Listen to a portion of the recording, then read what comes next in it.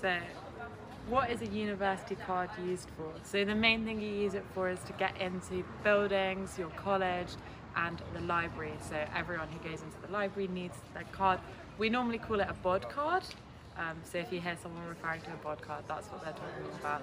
And yeah, it's used across the university to, get, to gain access to everywhere and to just show that you're a university student.